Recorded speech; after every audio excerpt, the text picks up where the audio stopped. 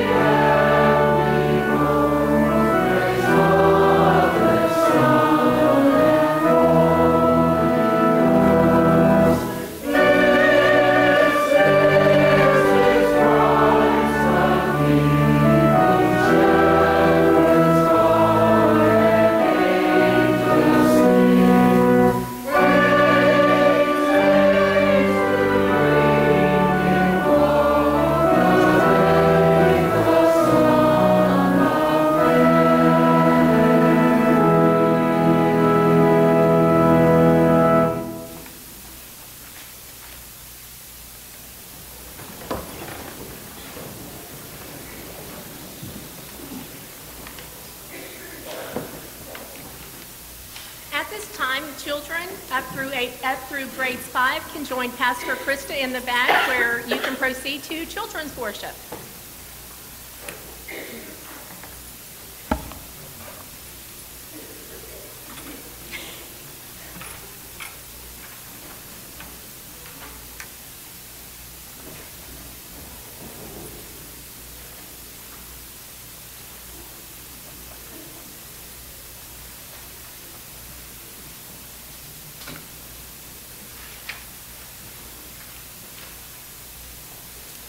Dear people of God, in this Christmas season with joy, let us hear once more the message of the angels and in heart and mind go to Bethlehem and see the Son of God lying in a manger.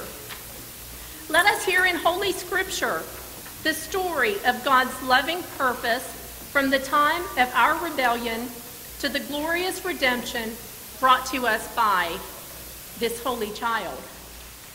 But first, let us pray for the needs of the whole world, for peace and justice on earth, for the unity and mission of the church for which he died.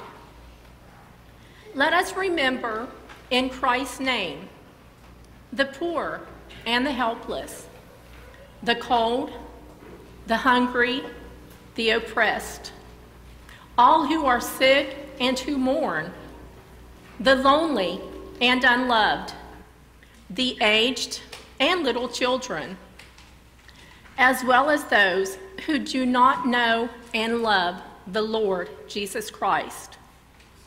Finally, let us remember all those who rejoice with us, but upon another shore and in a greater light, that multitude which no one can number, whose hope was in the Word made flesh, and with whom the Lord Jesus, we are one forevermore. And now, to sum up all these petitions, let us pray in the words which Christ has taught us Our Father, who art in heaven, hallowed be thy name. Thy kingdom come Thy will be done on earth as it is in heaven. Give us this day our daily bread, and forgive us our trespasses as we forgive those who trespass against us. And lead us not into temptation, but deliver us from evil.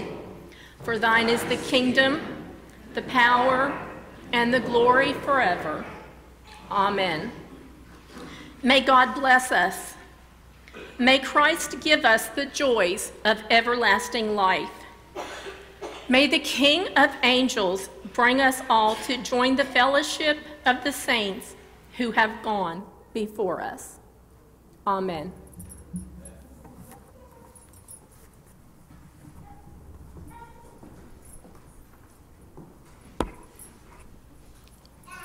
In the Garden of Eden, when evening came, they heard the Lord God walking in the garden. They went to a secluded place among the trees of the garden to hide from God. Then God called to Adam, Where are you? Adam answered, I hear your voice in the garden. Because I was naked, I was afraid and tried to hide. God asked, who told you you were naked? Did you eat the fruit from the tree that I told you not to eat? Adam answered, The woman you gave to me offered me the fruit, and I ate it. God spoke to the woman, Why did you do this?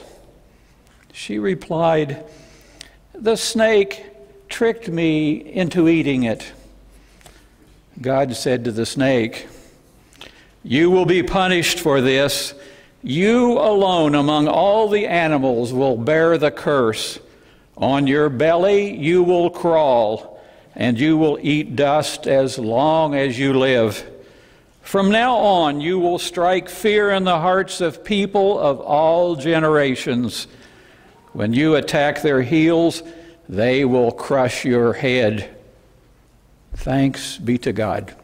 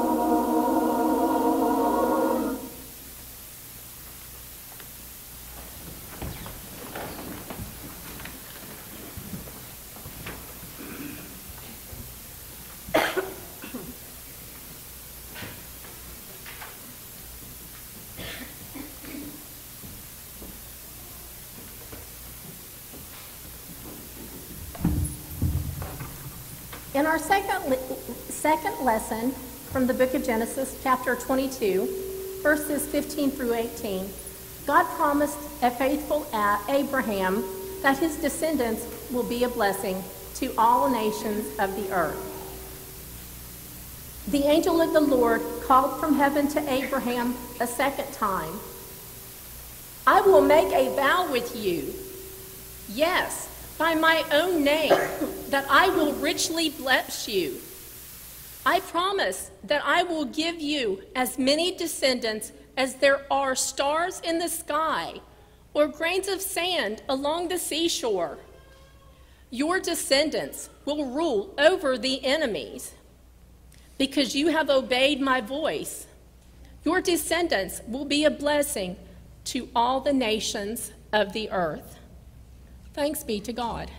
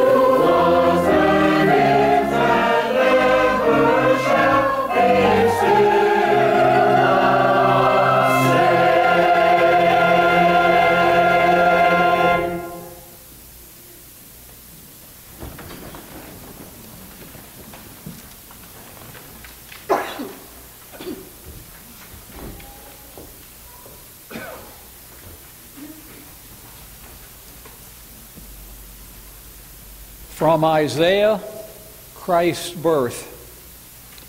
The people who walked in darkness have seen a great light.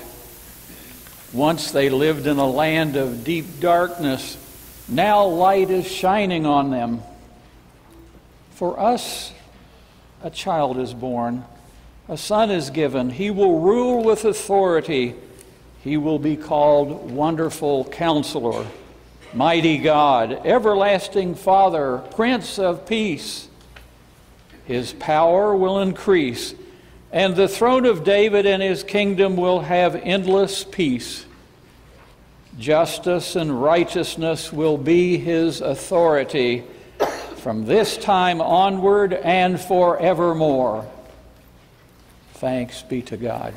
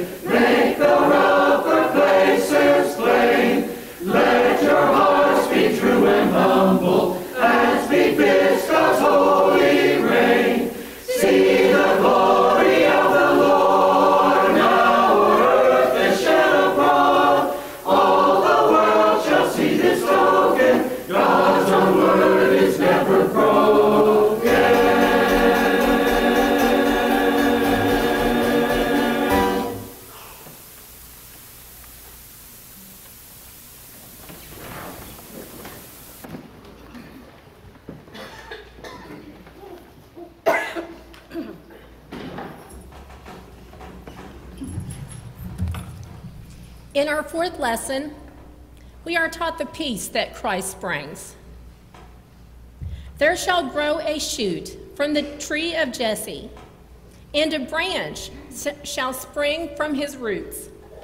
The Spirit of the Lord shall rest upon him a spirit of wisdom and understanding, a spirit of counsel and might, a spirit of knowledge and a reverence for the Lord. He will not judge by what he sees or decide by what he hears. He will tend the poor with justice and defend the rights of the helpless. The wolf and the lamb will live together in peace. The leopard and child will rest together. The calf and the young lion will feed together, and a little child will take care of them. Cows and bears will eat together. Their young ones will live in peace. The lion shall eat straw like cattle. Even a baby will not be harmed if it plays near the hole of a snake. There shall be nothing harmful or evil on God's holy mountain. The earth shall be as full of the knowledge of the Lord as waters that cover the sea. Thanks be to God.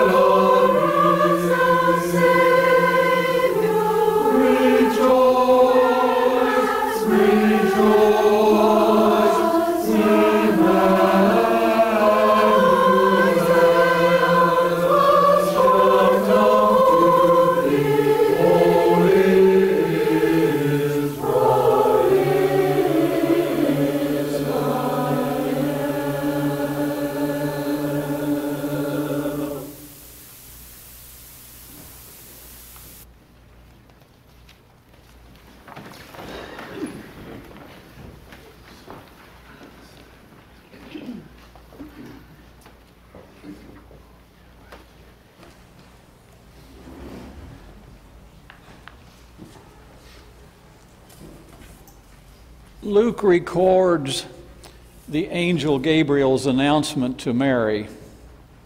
In the sixth month, the angel Gabriel was sent by God to a town in Galilee called Nazareth.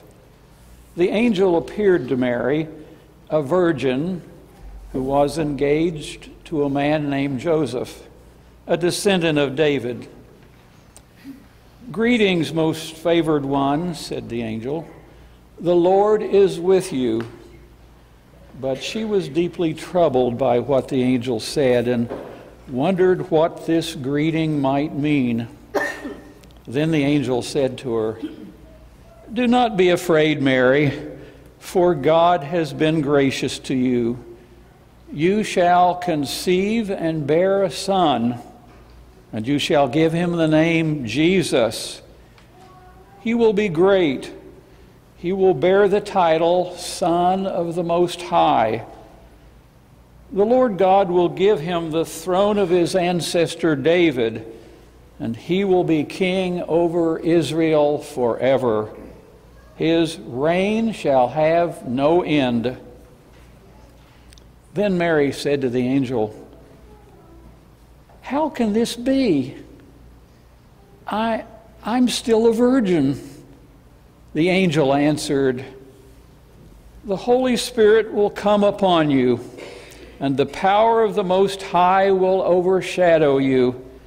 And for that reason, the holy child to be born will be called the Son of God. Then Mary said, Here am I, the servant of the Lord. As you have spoken, so be it. Then the angel left her. Thanks be to God.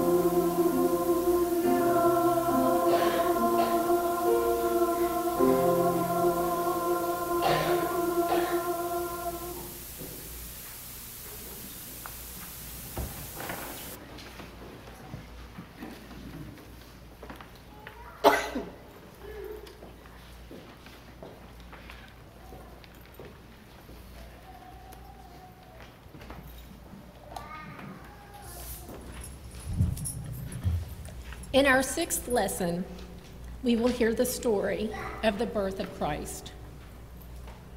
This is how the birth of Jesus took place. Mary, his mother, was engaged to Joseph. Before their marriage, she was to have a child by the Holy Spirit. Joseph, being a man of principle, and at the same time, not wanting to disgrace Mary, desired to have the marriage contract set aside quietly. But just when he resolved to do this, an angel of the Lord appeared to him in a dream and said, Joseph, son of David, do not be afraid to take Mary home with you as your wife, for the child conceived in her is from the Holy Spirit. She will bear a son, and you are to name him Jesus, for he will save the world, for he will save the people from their sins. All this happened in order to fulfill what the Lord declared through the prophet. A virgin shall conceive and bear a son, and he shall be called Emmanuel, a name which means God with us. Thank you be to God.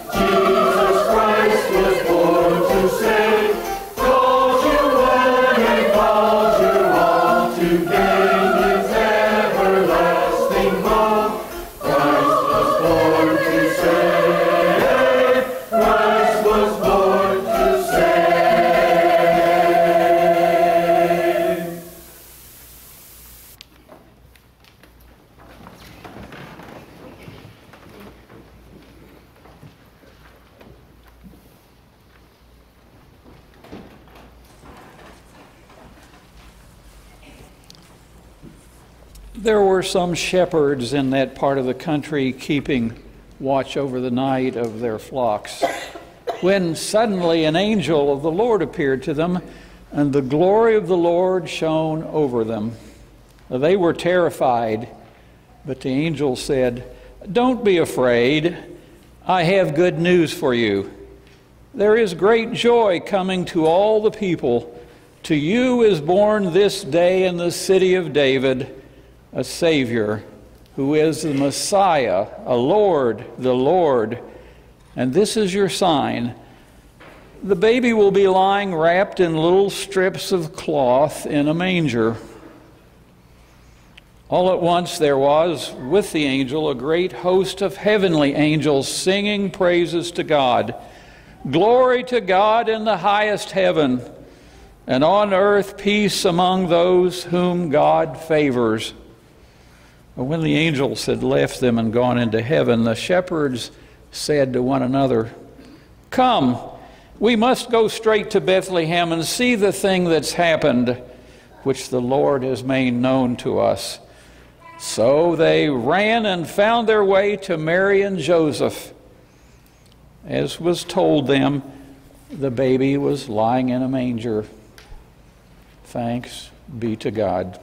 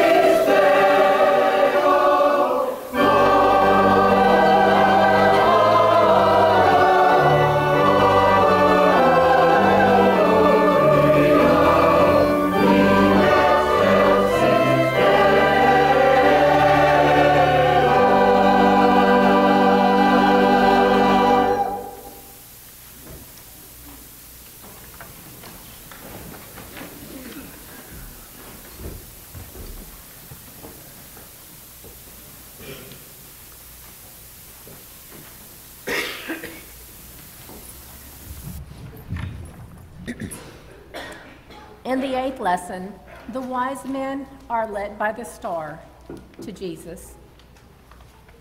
Jesus was born at Bethlehem in Judea during the reign of Herod. Wise men came from the east to Jerusalem asking, Where is the child who is born to be king of the Jews? We have seen the rising of the star, and we have come to worship him. When King Herod heard this, he was greatly perturbed, and so was all Jerusalem. He called a meeting of the chief priests and lawyers of the people and put this question before them Where is the Messiah to be born? They answered, In Bethlehem of Judea, and by no means least among the rulers of Judah. For out of you shall come a leader to shepherd my people Israel. Then Herod called the wise men to meet him in private and learned from them the exact time when the star appeared. Go and search carefully for the child, and when you have found him, bring me word so that I may also go and worship him. When they had heard the king, they set out, and there, Ahead of them went the star that they had seen at its rising. It stopped over the place where the child lay. At the sight of the star, they were overjoyed. Entering the house, they saw the child with Mary, his mother, and they knelt down and worshiped him. Then, opening their treasure chest, they offered him gifts of gold, frankincense, and myrrh. And being warned in a dream not to go back to Herod, they returned home another way. Thanks be to God.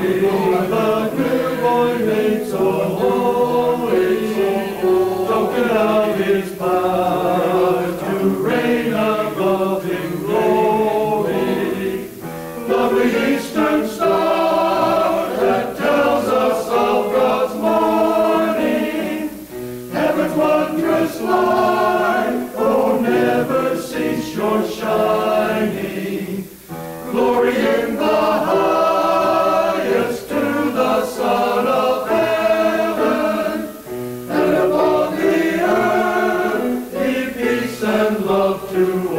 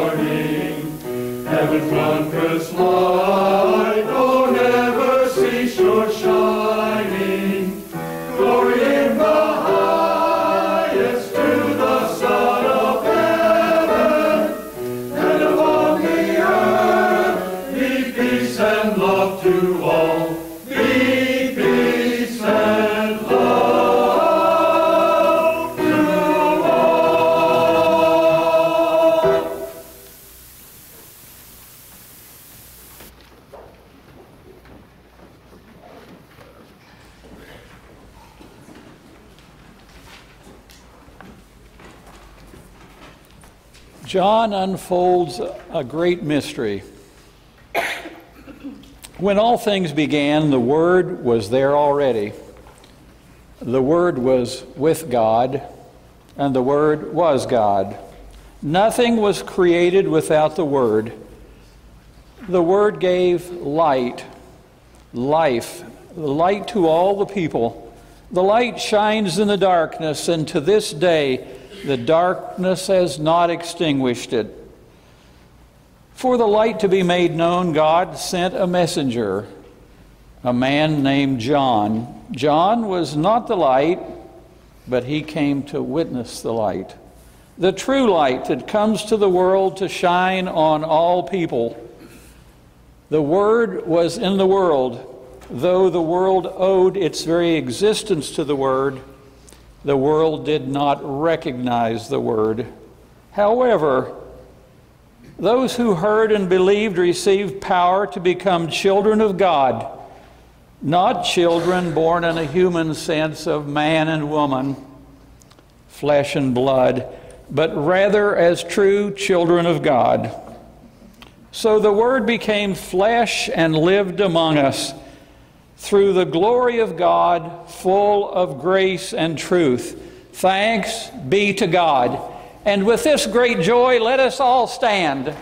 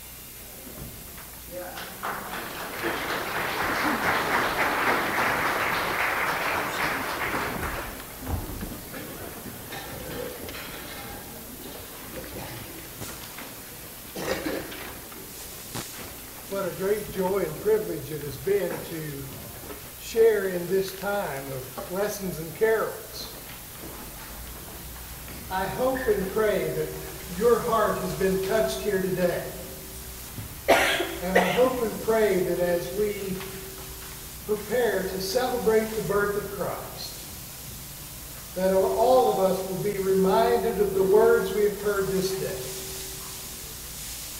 For unto us a son is born, unto us a son is given. And today we celebrate this. And I want to take just a moment to thank this wonderful choir and all those who participated, our readers, our director, everyone. I thank you from the depths of my heart. What an honor it has been to see with you today. God bless you.